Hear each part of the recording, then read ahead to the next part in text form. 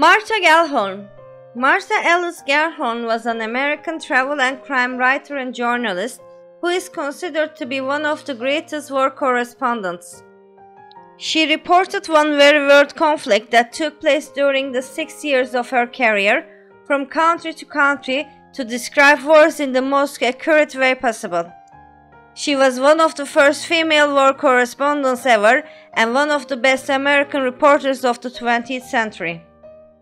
Martha was born in St. Louis, Missouri in a rich family in 1908.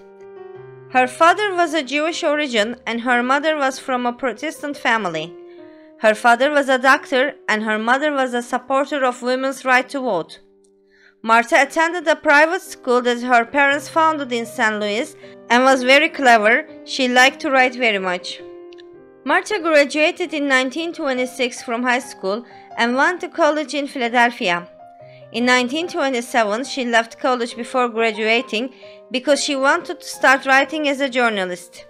Her first article appeared in a newspaper called The New Republic. In 1930, Martha decided that she wanted to become a correspondent from another country, so she went to France for two years where she worked in Paris. While Martha was in France, she wrote about her experiences in a book.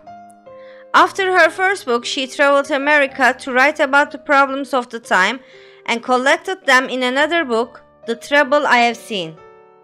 Martha published a lot of other books over the years and collections of articles on war. In 1940, Martha married the famous writer Ernest Hemingway, and together they traveled to Spain to write about the Spanish Civil War and the beginning of World War II. After Spain, she was sent to different other states in Europe to collect news about the World War II and reported every major event of the war and of its end. After World War II, she went to Vietnam, El Salvador, Nicaragua, and Panama, and was there to write for a lot of important conflicts and events. Martha died in London at 89 years old. The Martha Gellhorn Prize for Journalism was established in her honor. On October 2007, she was chosen to be put on a postage stamps and in 2011 she was the subject of an episode of the World Rights series Extraordinary Women in the United States. In 2012, a movie about her and her husband's life was very popular.